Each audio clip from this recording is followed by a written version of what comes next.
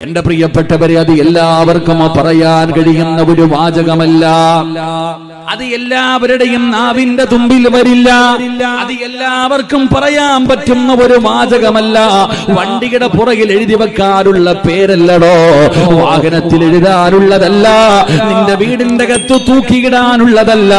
അത് നിന്റെ നാവ് കൊണ്ട് പറയാനുള്ളതാണ് പറയണമെന്ന് അള്ളയല്ലേ പറഞ്ഞത്? അള്ളയല്ലേടോ പറഞ്ഞത്? ഒരു മുസ്ലിമിന്റെ അടയാളമായി ഒരു മുസ്ലിമിന്റെ അടയാളമായി ഒരു സത്യവിശ്വാസിയുടെ ഗുണമായിട്ട് അള്ളാഹു പറഞ്ഞ അടയാളമാണ് വതവക്കൽ അലല്ലാഹ്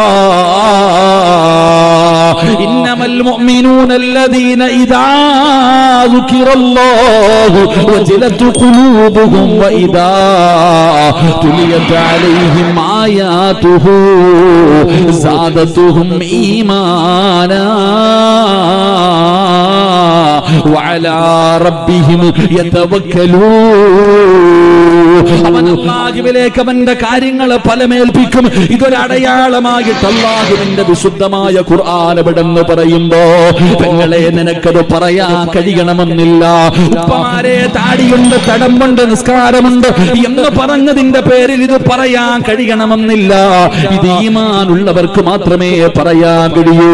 ഇതല്ല ഇഷ്ടപ്പെട്ടവർക്ക് മാത്രമേ പറയാൻ കഴിയൂ.